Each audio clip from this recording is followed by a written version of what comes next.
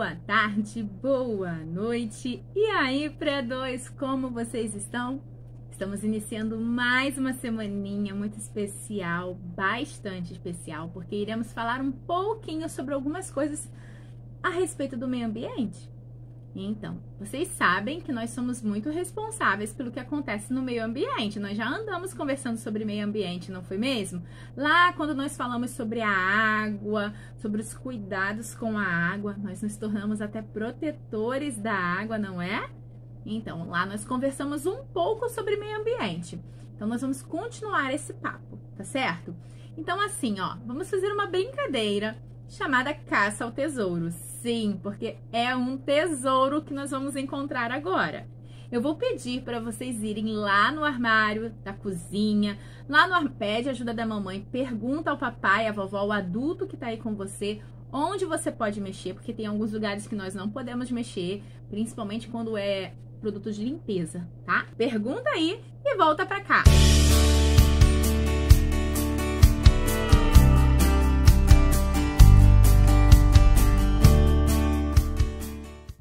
Então estão preparados? Vamos começar o nosso caça ao tesouro? Eu vou mostrar para vocês um símbolo e vocês vão procurar esse símbolo nos rótulos que tem aí na sua casa, tá certo? Das embalagens.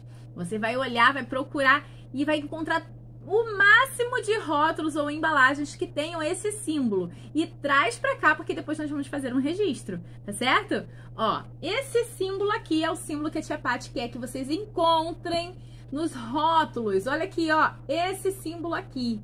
Isso, esse símbolo. Vou mostrar um aqui bem grandão na tela, porque aí fica mais fácil de você identificar. Você tentar encontrar esse rótulo aí em vários elementos na sua cozinha ou nos seus armários. Preparados? Um, dois, três e já! Corre! Vai lá, tenta achar e depois volta pra cá, hein? O máximo de rótulos que você conseguir. Estou te esperando.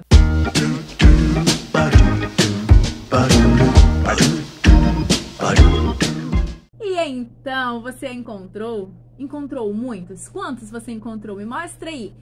Conta quantos você tem. Faz uma foto bem bonita com tudo que você encontrou. Quero saber qual foi a criança que conseguiu mais embalagens com esse símbolo. Agora, a tia Paty vai dizer uma coisa. Por que, que eu chamei de caça ao tesouro? Porque esse símbolo é algo muito importante para o nosso planeta. Quando nós compramos embalagens que tenham esse símbolo, isso contribui para que a gente elimine um, um número muito grande de lixo no nosso planeta. Só que eu não vou explicar o que esse símbolo significa. Você vai pesquisar aí com a sua família no Google. Lembra do microfonezinho do Google? Lembra disso?